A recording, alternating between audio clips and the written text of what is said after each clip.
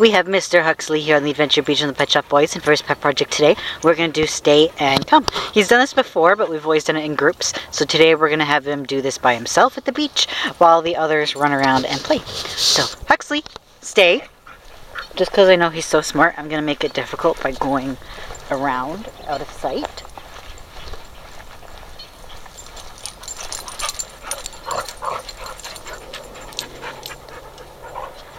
Okay, Cup. Good boy! Good boy! What a good boy. Thank you so much. Here are your treats.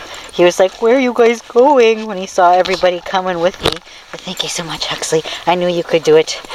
And there you go. Off we go. We're going to have a great day. Thank you so much, everyone.